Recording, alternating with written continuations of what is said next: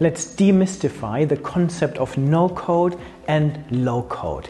Imagine crafting a beautiful app or website without typing a single line of code. That's the power of no code platforms. Much like building with Lego, you piece together pre made blocks to create what you need. Tools like Webflow or Bubble allow you to design sophisticated websites or apps without any coding expertise.